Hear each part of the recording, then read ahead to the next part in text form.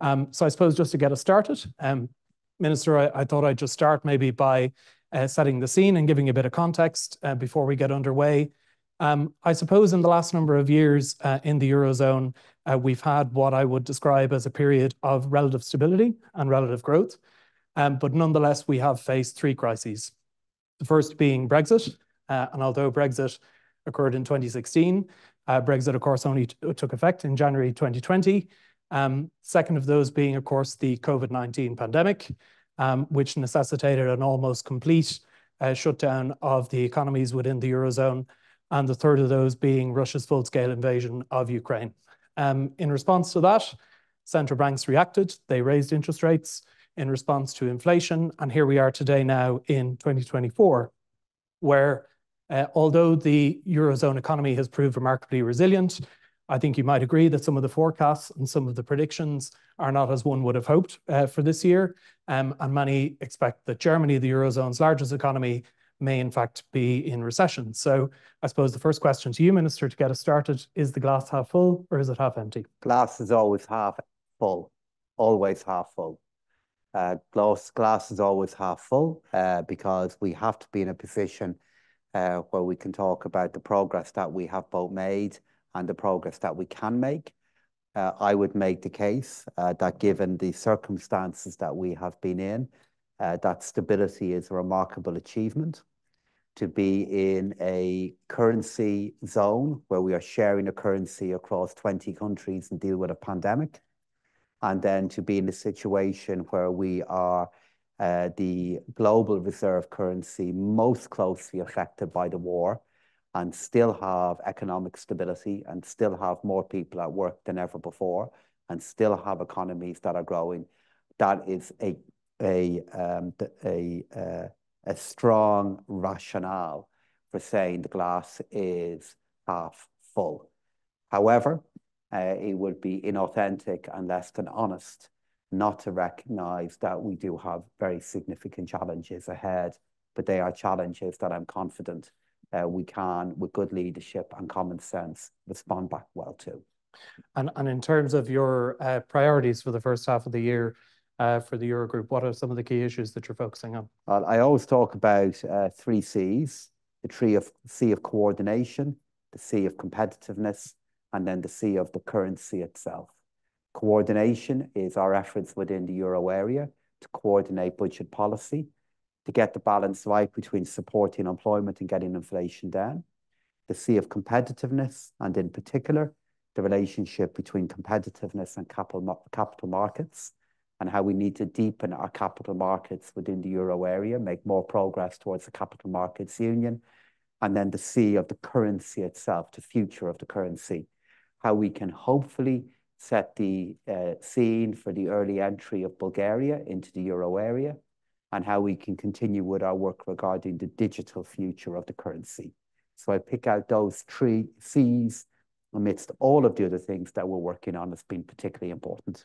And we we might address each of those in turn, but um, I suppose just starting with the with the coordination piece, um, what's the general advice that you're giving in terms of fiscal policy for for member states? Uh, that fiscal policy has to be in a Uh, restrictive stance, which is very difficult at the moment given the many political and social pressures that we are facing. We, however, have to be taking steps now to reduce borrowing. If you have a deficit, to make it smaller. If you have a surplus, to keep it and make it bigger.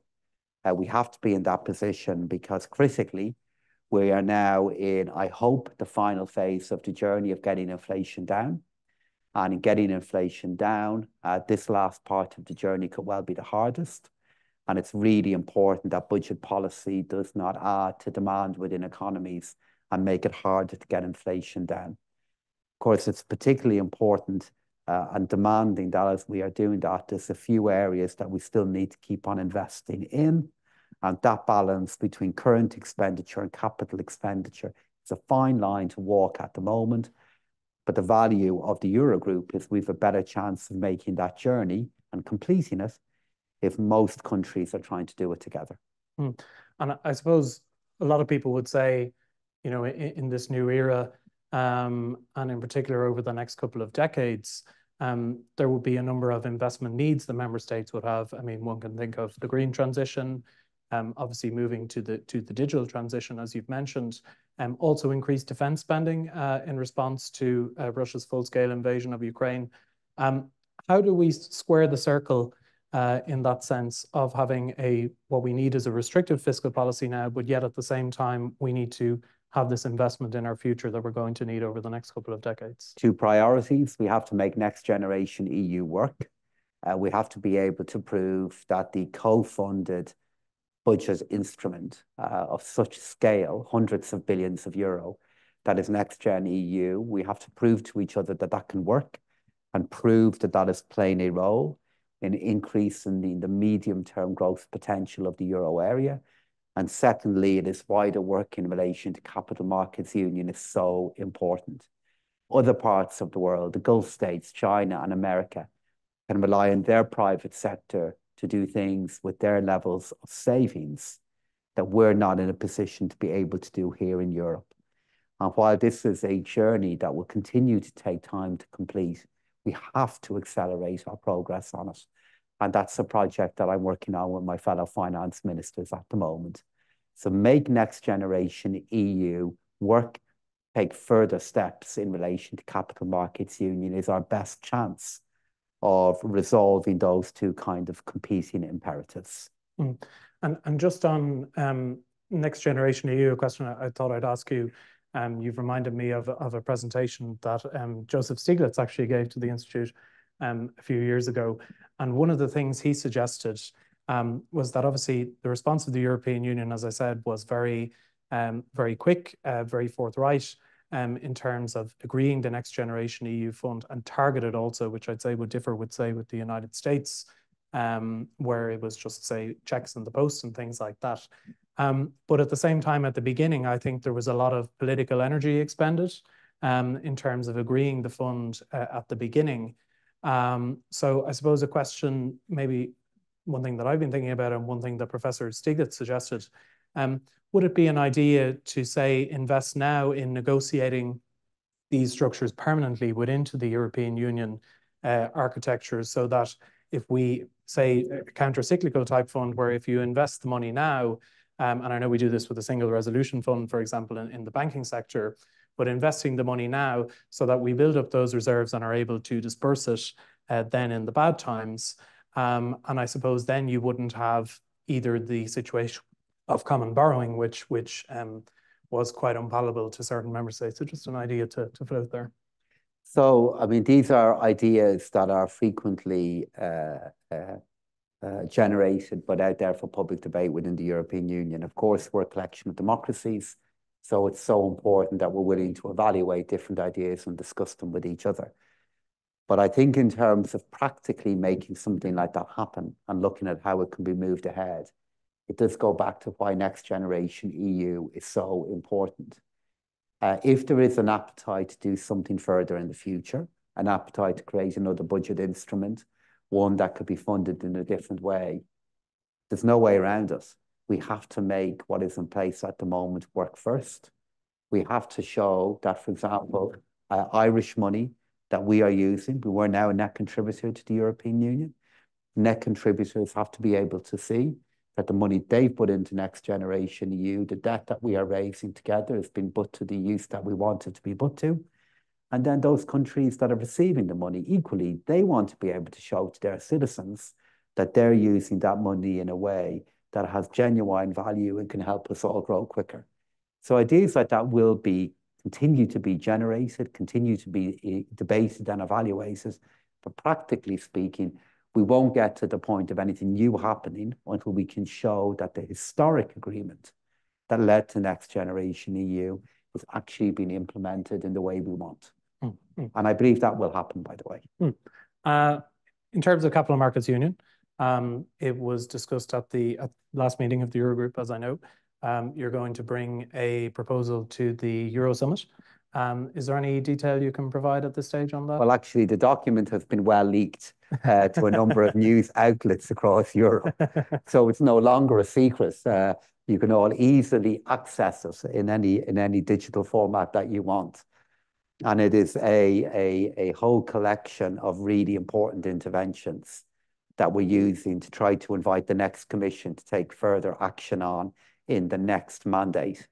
Uh, it covers off an array of different areas. If I was to pick out two that I think are be particularly important, is uh, what we can do uh, to further make use of securitization options here within the European Union, and in particular, Uh, uh, financially, what we can do there. And secondly, a really interesting idea that's developing regarding a common European savings product, where we would encourage young people like yourselves to invest into products that would be available all across Europe, that would be used in turn to support and invest in particular elements of our common European future. They're just two ideas, but it's a multi-page document available on all good financial and current affairs websites as we speak. And available soon at the Euro Summit. And available officially at the Eurozone Summit soon, too. Um, Just in terms of Capital Markets Union, and just from some of the conversations we would have in here, um, it would seem a lot of the architecture is already in place, um, in terms of the, the the action plan that was proposed by the commission, a lot of legislation agreed. Um, but so much of this, I think, is cultural as well, um, in the sense that obviously in Ireland, perhaps we have the tendency to, you know, put our savings in banks. We don't have the same tendency, perhaps in the European Union or in the Euro area, to uh, invest, as they say, would in the United States, uh, as a sort of general uh, practice. Um, how do you think we can we can bridge some of those cultural barriers that would mean, you know, citizens and businesses will be more likely to invest in different types of assets, which ultimately is a good mm-hmm. investment? I think that is a great question, and ultimately that will be a question of how we change cultural preferences through education as well. Um, I mean, it is something that will take um, so much time to make a difference to. One of the reasons, for example, there's such a, a different attitude towards equity markets in the United States, is they have a very different attitude to risk, and they have very different expectations what the state will do for them. Here in Europe, here in Ireland, we have a different tolerance for risk, and we have different expectations regarding what the state will make available to you later in life. For all of those reasons, it means we have a very different attitude towards our private capital and the use of that capital within an economy. So that, Daire, is one that it will be, Uh, it's going to take a lot of time to do. But if I was to pick out one area which I think is capable of making a difference in Ireland and in other countries, it's the plan in relation to auto-enrollment that Heather Humphreys is working on at the moment, my colleague, the Minister for Social Protection. Because while that mightn't deepen your uh, tolerance for risk, it will create deeper pockets of capital within a country. And how that capital might be invested and how that could affect the supply of capital within national economies, I think is something that is really interesting and could have a very big impact then on capital markets within the European Union. Mm. And just getting back to the to the overall point of of competitiveness, um, I suppose just in terms of something that will be common to a lot of Euro area countries, I think, is this issue of energy security. Mm-hmm. In response to to Russia's full-scale invasion of Ukraine. Um, Are you satisfied with the steps that are being taken across the Eurozone in that space at the moment, or do you think there's more we can we can do there? Well, I think we should take great confidence from our efforts with regard to energy security. But energy security and energy competitiveness are related, but they are different concepts. So we have performed within the European Union, our energy ministers, our regulators, our energy suppliers, performed a miracle at the end of 2020 and in 2022 and in 2023. A miracle. The transition that happened across so many economies to move away from imported Russian gas and source energy in other ways was an extraordinary policy achievement. And as frequently the case, really big changes that lead to the absence of a negative sometimes don't get the recognition and analysis that they merit. That's energy security. The issue of energy competitiveness, the availability of low-cost energy, is just a gigantic project that we've an awful lot of work to do on. And if there's any group of people that know the origins of the European Union, it's all of you. Uh, you remember that the early phases of the European Union was also about energy, it was about coal and the sharing of coal.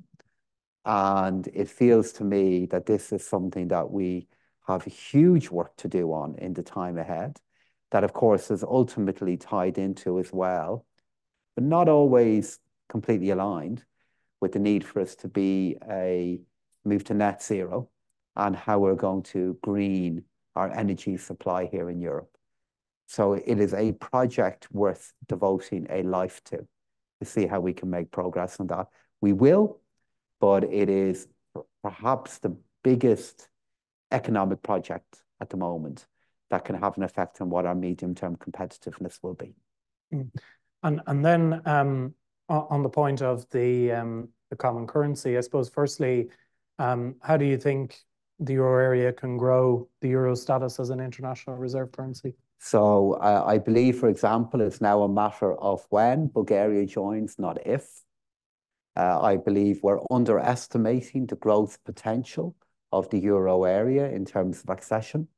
Uh, new options and possibilities, I think, will open up in the time ahead. In terms of, though, the future growth of the euro as a global reserve currency, I think there's two elements of it that would be so important. Number one, uh, what steps we can take to increase the growth potential of the euro area in the medium term.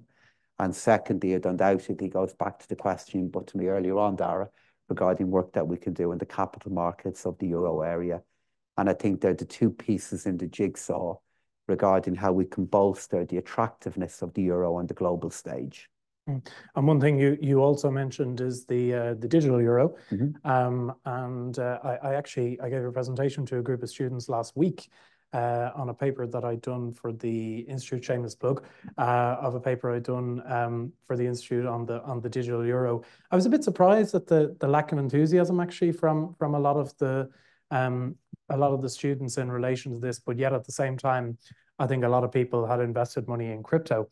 Uh, and I always well, they'll know the value of the digital euro a little later in life. Then. yeah, well, after well, I always remember um, the quote from Andrew Bailey, the the governor of the Bank of England, uh, who said, "You should only be prepared to invest in crypto if you're prepared to lose all your money," uh, which yeah. is what he said. So, um, but I suppose um, just in terms of the the digital euro, I think from from that presentation and what we've seen in here, I think the biggest challenge is, uh, I think, developing a convincing use case for it, um, particularly within the euro area, and I think in the United States as well, where where there's discussions ongoing. How do you think we can convince people of the, of that use case? That it is an idea uh, that is about the future. Hmm. And the idea, the reason why we have so much of a challenge making the case for it now is it's getting ready for a world that is yet to arrive. Uh, we have a world that is rapidly approaching, which will be so much more digital than the world of today. We have a world that will be rapidly approaching in which other global reserve currencies will be in a digital format, and in which currencies and means of payments will be available that are not backed by states and not backed by projects like the European Union. And in that world, we will need a digital euro because you will need a trusted means of payment and a trusted store of value. And states and the ECB and the euro system will need the euro area because in the absence of our currency being digital, it will weaken uh, the value and need of the euro as a transmission mechanism of economic policy. Now, of course, that argument is not one you can fit into a tweet. It doesn't easily lend itself to a nice Instagram or to a short news bulletin or, or soundbite. But that's not the reason not to get ready for it, because there will come a time in which you, as citizens of the euro area and the European Union, will realize this is why I need it. And we have to do that work and get ready for that moment now. It's still a number of years away, and we've time to make that case during that moment, during that journey. Okay, very good. Um, let's get some questions in, uh, if people have them. So my colleague Keane has the microphone. I think I can see everyone, but if I can't, Keane will point them to me. I see Owen Flaherty first. Um, and if you might just identify your name and your affiliation as well, please. Sure. Uh, Owen Flaherty, Central Statistics Office. Um, you mentioned the expansion of the EU or the euro area, specifically, well, kind of both. Do you have any thoughts on the architecture of the EU and the euro area? The constant challenge of the EU is speaking with coherence and getting consensus in a efficient way. Um, how can we increase that in the context of a growing EU or euro area? Yeah, so Owen, uh, thank you very much. And I know this sounds really nerdy, but I'm a great fan of the Central Statistics Office. Uh, I think you do phenomenal work, phenomenal work, uh, helping us uh, really objectively understand our country and the amazing work you then, that you've done in recent years communicating your work is super. Uh, so there we go. That was a really nerdy thing to say, wasn't it, Daire? Good, good. I love to see it so as well. Yeah, yeah, yeah, yeah, yeah. Um, so then, um, yes, um, if you look at the last phase of a change in decision making within the European Union, which was in particular the Lisbon Treaty, uh, that the catalyst for that was the growth and the scale of the European Union uh, and the number of new members that came in to join us. So, uh, what are my thoughts in relation to the architecture of an expanded uh, euro area in particular? Firstly, there are some areas in which I don't believe we'll ever move away from the principle of unanimity. Um, and there would be particularly economic areas uh, that are so core to how nations conduct their work with their citizens I'd be surprised if in the time ahead we moved away from the principle of unanimity. The good news is, even with that maintenance and focus and consensus, we still find ways to make progress.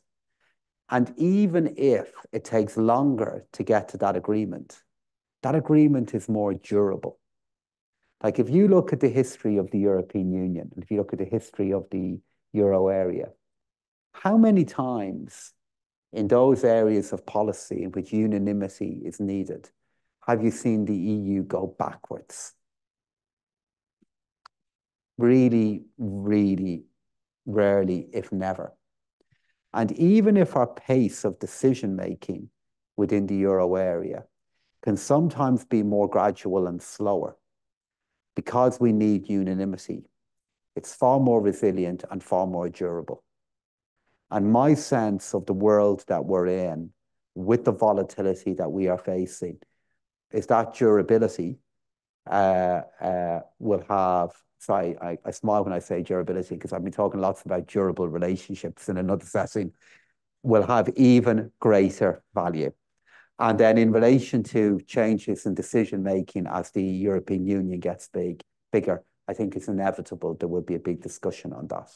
That discussion will happen. Um, but I perhaps will confine myself to saying, don't underestimate the value of unanimity. Don't underestimate it as a competitive advantage for the euro. Or that the member states have a durable relationship with each other as well. Well, actually, it's a highly durable relationship and very modern. very good. Um, I see, I think it's Neil at the back, is it? Yeah. Hey, Neil. Um, Neil Stokes, PwC. My question is around the sort of corporation tax landscape and sort of how do you see the next sort of few years panning out in terms of obviously there's objections or in the US with the Republicans it's slowing down respect to pillar one. Um, and then respect to pillar two how do you see that playing out for Ireland? So um, so firstly um, uh, I, I, I believe the only game in town is the OECD process, and we have to find ways of making it work. Uh, because in the absence of the OECD program process, which I spent five years working on, in the absence of that making process, making progress, the risk for instability and risk uh, in corporate tax policy is significant. I think it could be a real risk. And while that might be good news, frankly, for tax professionals uh, and um, uh, lawyers, because of the complexity and the difficulties of coordination and getting consistency in national tax policy. For trade and economic growth, it would be bad news. So I think we have to continue to remain committed to it. Of course, it is something that's becoming more challenging, you know, in the U.S. with the, with, you know, with, with, with some of the views that have been raised there. But I think here in Europe, we have to continue to show our commitment to the implementation of the minimum rate. And then in relation to the reallocation of taxing rights, continue to work creatively with global partners on it. Uh, because I think in the absence of that OECD framework, Uh, real challenges could emerge in the future of global corporate tax cooperation. So thank you very much for your question. I'm, you see, if I, if I have the same approach to PwC as I do to the CSO, I then have to ask, is there anybody here from EY? And I'll have to work my way around all the accounting practices in the, in the country. Otherwise, I'll just get in trouble.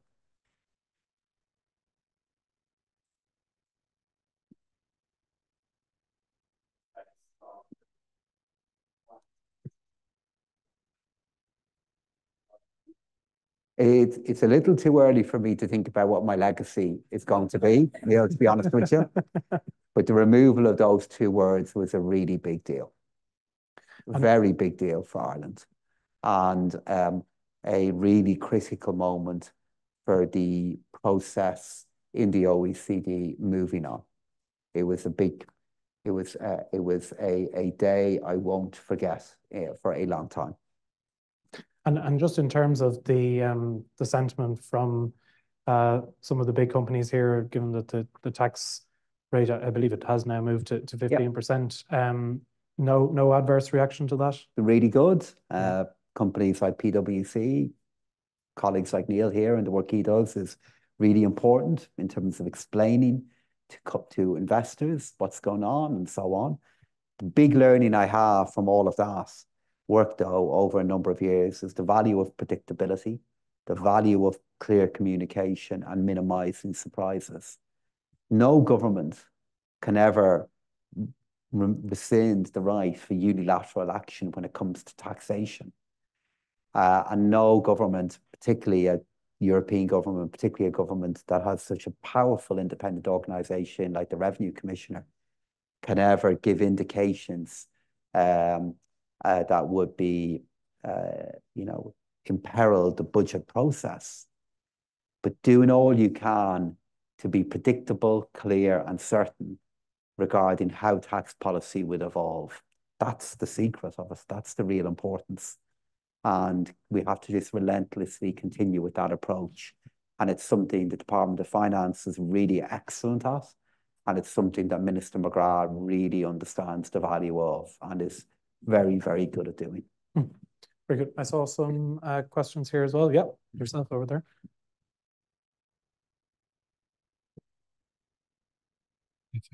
Um, thanks, Paschal, for coming along. Uh, my name is Kieran Sullivan. I work in the central bank. Um, yeah, I was hoping. um, my question is on um, competitivity and the capital market union. And um, in respect to Ireland and our kind of domestic financial institution environment, how can we contribute to the development or the potential development of the capital market union? Uh, it's a great question. I would pick out. So I, I actually will go back to something I said earlier on. It's the auto enrollment project. It really is.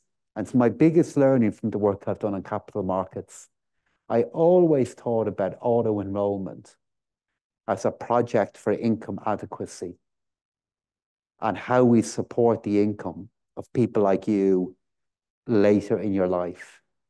And I never joined the dots between that project and how it deepens so much the availability of capital within an economy over the space of a number of decades. And the most interesting part of what we did in all of this was hearing my colleagues um, in, in Holland and the Nordic economies talk about this. And they drew the link which was amazing for me, between their pension systems and their share of patents in life sciences.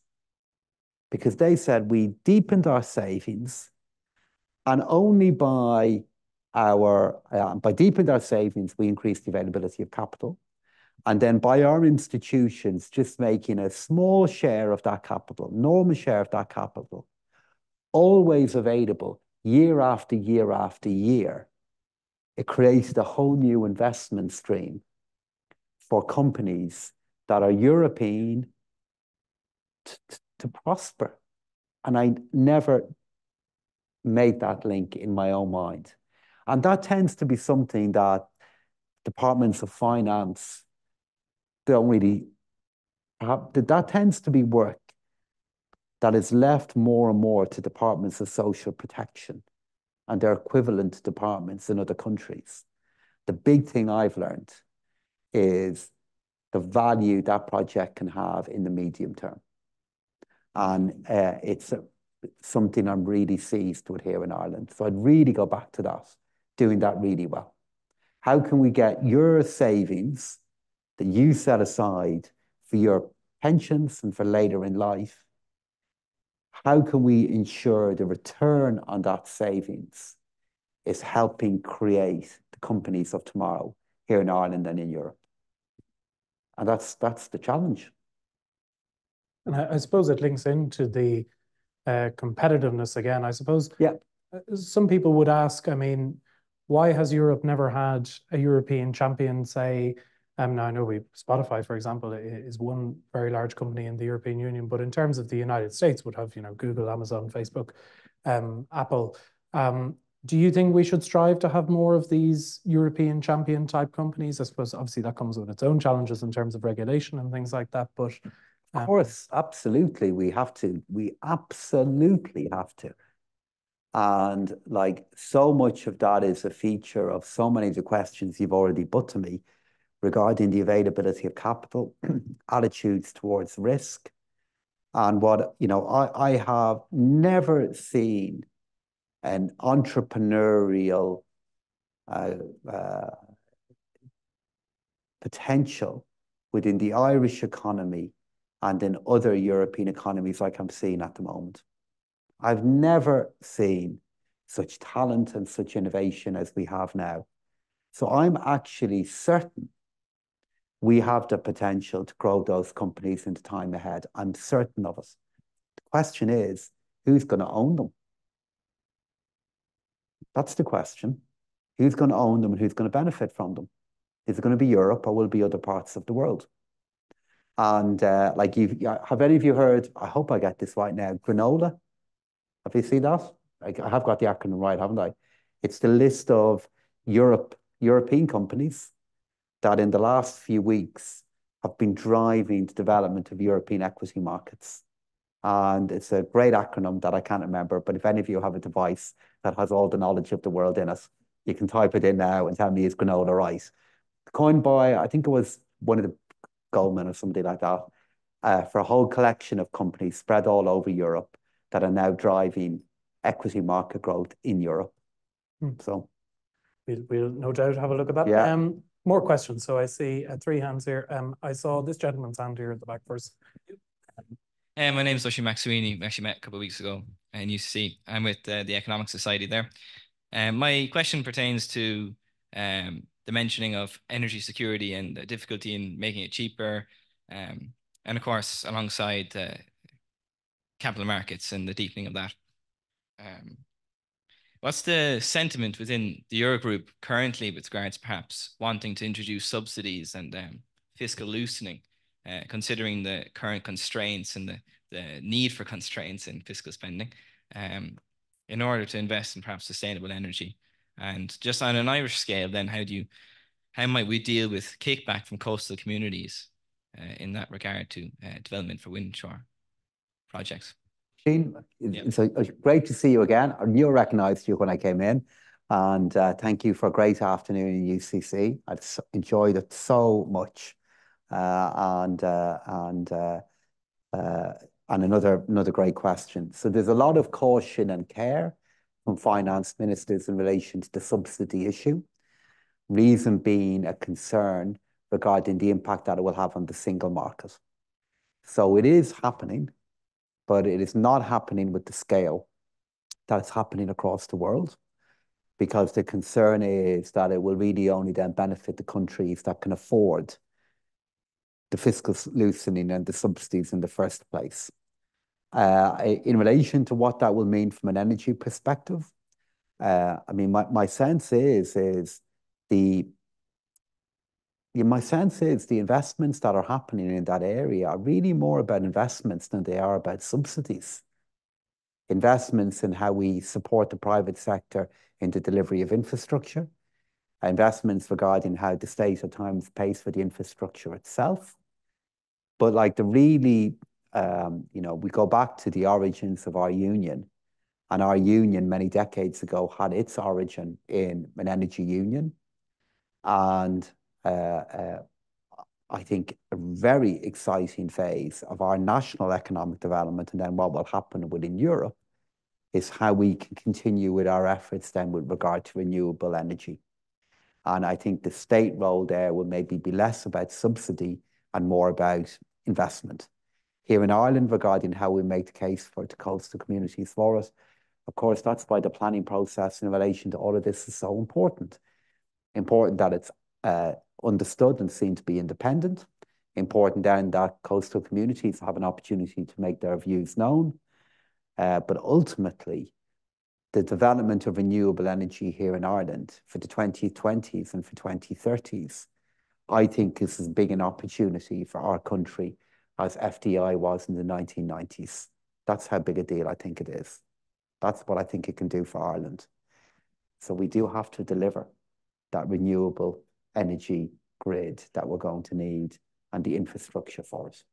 And in terms of European cooperation in that space, we have, uh, I think, quite a lot of like-minded countries Huge developing number. offshore wind. If you look at the collaboration that's happening between yeah. ourselves and France now in all of mm. that area, huge opportunities, yeah. Mm.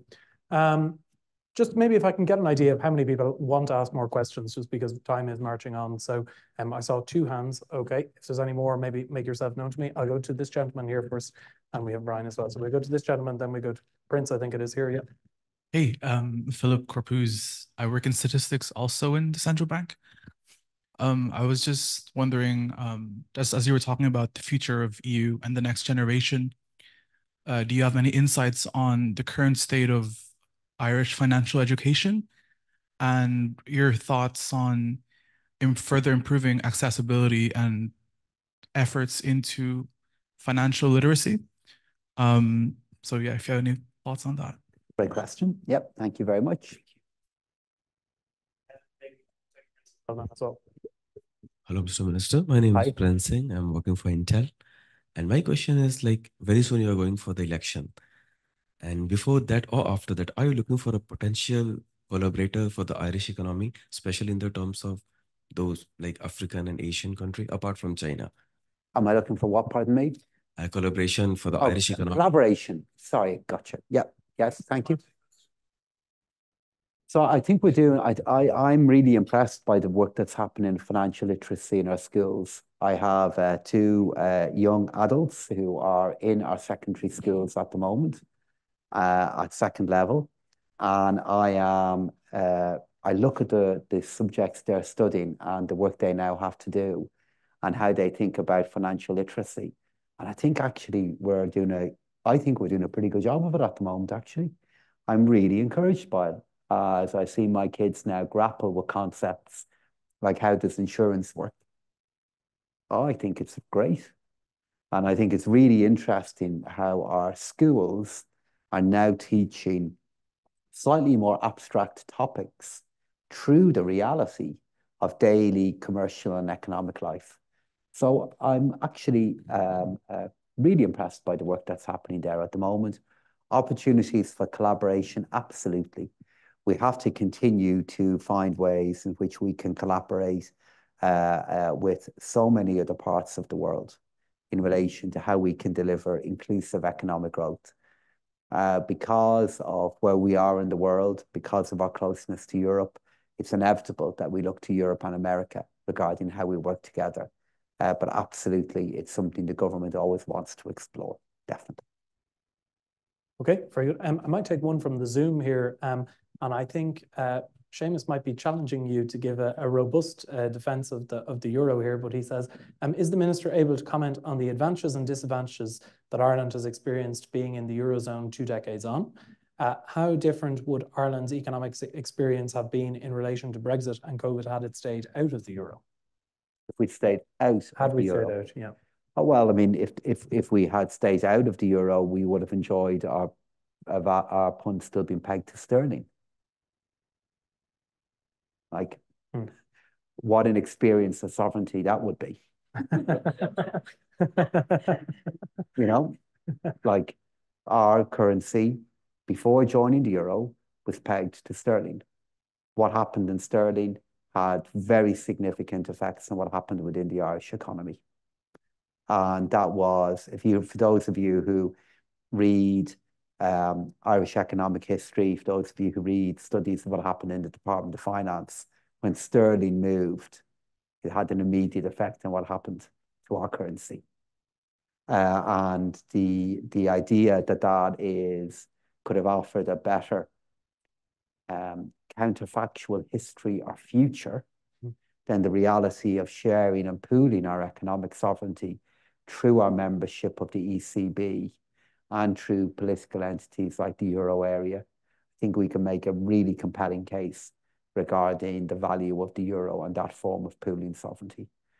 Uh, uh, I think uh, an alternative world in which we are, um, if we were not in the euro, we'd be pegged to the euro now. Um, would beg the question, what's the value of being pegged to the euro but not being in it? Hmm. So our history with one of being pegged to sterling. In an alternative world, it'd be one of being pegged to the euro if we still had the punt. I think either scenario demonstrates the value of where we are now. Hmm. And uh, just uh, one thing, one thing I was thinking about before the um, the event today, and I think it sort of comes back to the the question that we had over here.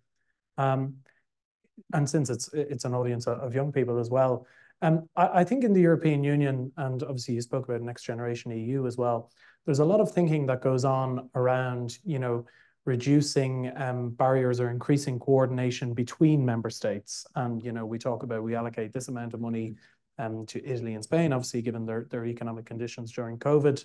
Um, within the Next Generation EU Recovery Fund, um, and we allocate money to countries in these proportions for this for this reason. But one thing, one thing I think about is, you know, could there be a, greater role for the European Union in terms of addressing um, inequalities, let's say, within member states? And, you know, obviously young people within member states are are less likely to accumulate wealth as, as you know, some of the points you've touched on earlier on. Um, or is that more of a member state level competency that is addressed through fiscal policy on the on the member state level. But it's just something that that I've been thinking about the, the last while. You know, I think it's already something that's recognised by the European Union, and that's why projects, many of the projects that are coming out of Next Generation EU, are aiming to do that. Hmm. Uh, and uh, there is far less so here in Ireland because we are not the beneficiaries of Next Generation EU to the degree to which other members of the European Union are. Uh, but so many of the other projects that are funded by NextGen EU in other parts of the EU are aimed at young people, are aimed at how we can increase participation of young people, of women within our economy. Uh, uh, so I definitely think the EU has a role to play there, absolutely. And it's part of how we can demonstrate a more kind of contemporary and modern role for the EU and demonstrate its very modern rationale. Hmm. Very good. Um, I'll go to Brian. I think you had a question at the back. Thanks, Minister, and thanks for sharing your insights today. Um, I'm just wondering in terms of the competitiveness angle you spoke about earlier. I mean, obviously, when we had the Trump administration the last time around, well, hopefully the only time around, uh, it was quite clear that Europe was united, that there was the push of Brexit, that while there was disagreements, there was a need to move on in terms of trade policy, making sure that Europe was competitive. I just wonder this time around, given the way the, the polls are looking for the European elections, if there's a bit of a fear that more political extremes in Europe will lead to uh, difficulty having a cohesive strategy if we do end up with that administration or other challenges in the future? Thank you. I think undoubtedly it is a, a, a challenge and risk. Uh, though when we were uh, look, aiming to build up that kind of cohesiveness from 20, uh, um, 2016 onwards, uh, of course, there was still see elections happening at that point within the European Union. There was at that point still different movements making the case for a different approach to Europe. Uh, but I, I would be very confident uh, Uh, that in an atmosphere of Europe having to confront big changes in leadership elsewhere in the world, that we would be able to create and maintain the cohesiveness and unity that would be needed to look after ourselves. Because, of course, the big difference between the time that you've referred to then and where we are now is the reality of a war in Europe taking place. And that of itself generates the imperative and need for unity and for working together. And uh, that's not easy. You're all aware of the challenges that we have, but ultimately, I believe we'll be successful in finding that unity again. Hmm. And do you think the prospect of a of a Trump administration is something you see finance ministers thinking increasingly about around the table? Of course, we always have to respect the decision that any people make in any election. But of course, it's a factor that's being considered. Hmm. And I suppose in relation to the considerations around developing European strategic autonomy, um, I mean, you know, there, there is this conundrum, I think, in many senses that, you know, or subsidies or or you know more state intervention in terms of um, you know say in the United States with the Inflation Reduction Act, the European response to that was the the Net Zero Industry Act. Um, you know, you see the the Global Gateway in response to to China, the China's um, Belt and Road Initiative. Um, a lot of these initiatives are are responses to um, conditions that are taking place elsewhere. Um, whereas if we think about maybe the global commons as such that you know perhaps these initiatives wouldn't have been started on their own accord. Um, so in terms of that piece around multilateralism, I think I think that's where we get to the heart of why multilateralism is so important in this, and how do you think we can protect that um, in the time ahead, regardless of who is the who is the president? There is a lot in that question there. there really, really is. Now, I'd see it slightly differently. I don't see the corresponding and reciprocal act to IRA in America mm. being our net zero act. The parallel act that was Next Generation EU. Mm. So I, I, and if you look at Next Generation EU and the size and scale of that, that was an extraordinary economic intervention, the rationale for which was not what was happening in America. The rationale was how we looked after ourselves and each other. And you know, you refer there to the global commons and the future of multilateralism. And I think it is, I think, only honest to acknowledge the challenge that those commons are facing at the moment as we see other parts of the world rising and we see the potential for fracture and obvious friction that we have at the moment. Uh, so for me, the greatest contribution that we can make to that multilateralism is uh, obviously continuing to stand by institutions like the UN and the WTO and try to play our role in them working better in the future. But my God, it's investing in the European Union and looking after us and doing our best to get the kind of unity and coherence that your friend asked me about a moment ago. So that when Europe does speak and when we look to act, we're doing so in a way that approaches partners and friends from a position of better strength. And we can do that. Um, I'm reading at the moment a great book that I'd recommend to all of you. I think everybody in this audience would love it. Circle of Stars. And it's a history of the EU. Um, and uh, it, it's, it's written by a very, very learned academic, but it's not quite academic, but it's also far more substantial than it to be a work of journalism. It's a really accessible, great piece of modern economic and political history. And it just reminds you again and again of the value of the EU when it could speak with roughly kind of one voice. So with all its voices roughly pointing in the same direction. And that's what we have to aspire to the maintenance and growth of. Hmm. Um, okay, well, I, I, think we've we've come up to the end, uh, but before you uh, go, I wanted to do a, a quick fire round. That's um, always the most dangerous part. it's like if you're at a political meeting and you get to AOB, that's the very dangerous part of it. So I'm going to have a glass of yeah, water. Well, you, you might have uh, preempted uh, one of my questions, uh, which will be the last one. But as I say, the questions that people uh, really want to know. Um, if you were stuck on a desert island and you could bring one cabinet minister with you, who would it be? Oh. oh, God, I'm not answering that question. I, I, Down there lies ridicule or great danger. I, I, I had a feeling you might. So do I get to pass one? Uh, you can pass one, but maybe not the other two. You might want to pass the other two now. We, we'll see. We'll oh see my you get on. God. We'll, oh, we'll see how you get on with the other two.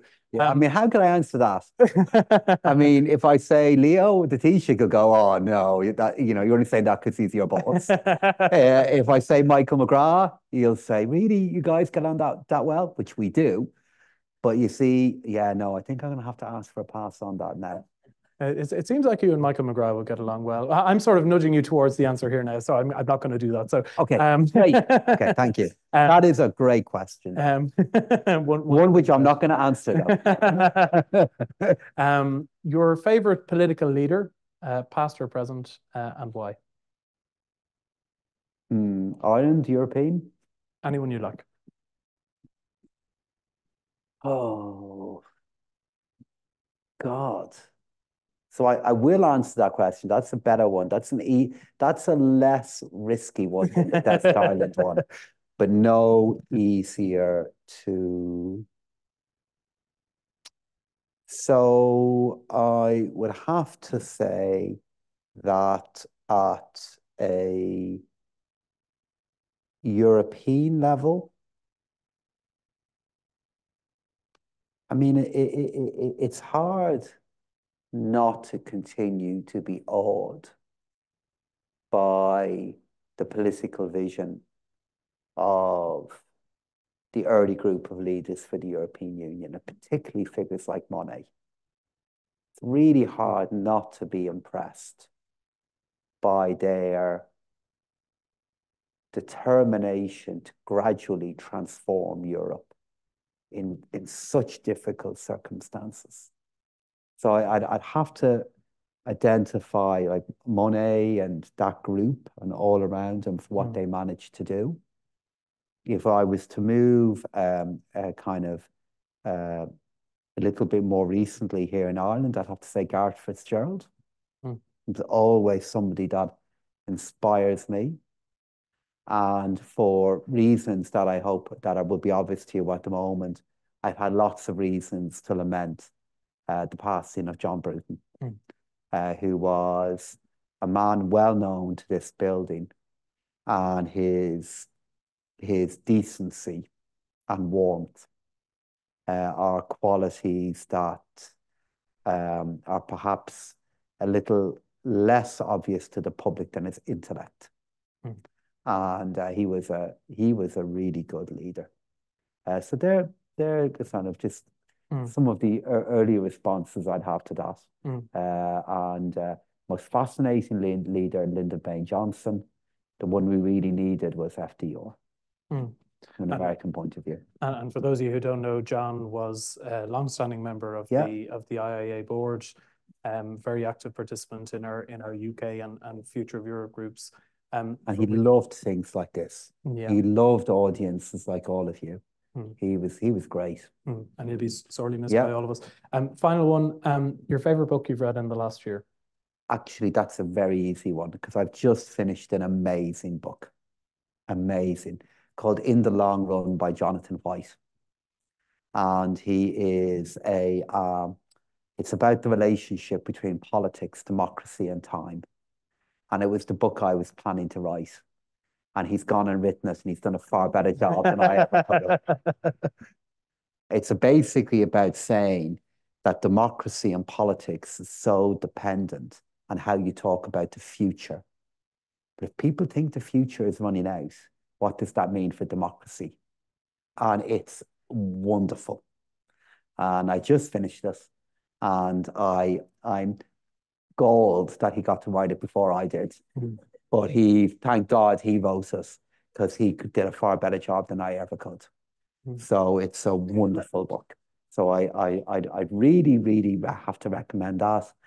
And then I'm going to cheat because I didn't answer your first question. So can I get a second answer? you, you, you, can get yeah yeah. The most enjoyable novel I've read in a little, in a in a kind of a, a little while that is uh, really relevant to some of the stuff we've talked about here tonight is In My Father's House by Joseph O'Connor, which is the story of Monsignor Hugh Flaherty, who grew up in Cahersiveen, ended up as a priest in the Vatican, and tried to save and did save um, uh, Allied prisoners in World War II. And it's so relevant to what we're talking about here uh, because it's a reminder of what happens uh, when all else fails. And it's a really good book, really beautiful. Mm. So on a, on a similar theme, I think one of my favorites is The Twilight of Democracy by uh, Anne, Anne Applebaum. Applebaum. And, um, you know, Anne Applebaum, always quote her. You asked me earlier on about is the glass half full or glass empty. Uh, Anne Applebaum once told me that pessimism is irresponsible. Hmm. What a lovely note to end it on. Um, Great. So, thanks a million. Thank you for being here. This is an amazing institute. You do great work for all of you by being members of this network and for your companies uh, and uh, supporting the work of the IIEA. Thank you for doing it. And thank you, Daire, for uh, uh, I've really enjoyed the evening. It's lovely being here. Thank you so much.